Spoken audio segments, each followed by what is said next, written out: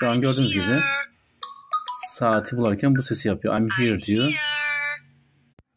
Merhaba arkadaşlar, Tamir Takım Teknoloji kanalıma hoş geldiniz. Bu bölümde ise Huawei Watch akıllı saatlerde telefonu bulma veya saati bulma nasıl yapacağız onu göstermeye çalışacağım.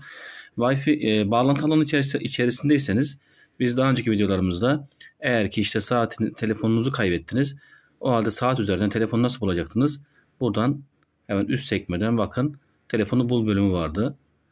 Bunu bastığımızda telefonumuza uyarı bilgisi gelecek ve onu e, bulacağız. Peki siz bu e, saatinizi yine bağlantı alanı içerisinde saatinizi kaybettiniz. Onu bulmaya çalışıyorsunuz. Onu nasıl yapacaksınız?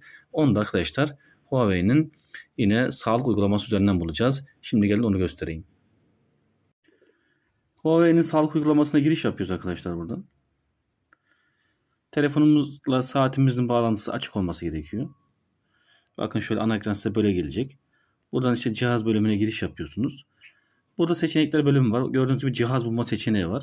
Cihaz bulmayı açıyorsunuz. Zil sesi oynat dediğinizde saatinize ulaşıyor. Zil sesi oynat dediğinizde şu an çalıyor diyor. Evet. Şu an gördüğünüz gibi çalıyor arkadaşlar. Saati bularken bu sesi yapıyor. Here diyor. Ulaşabilirsiniz.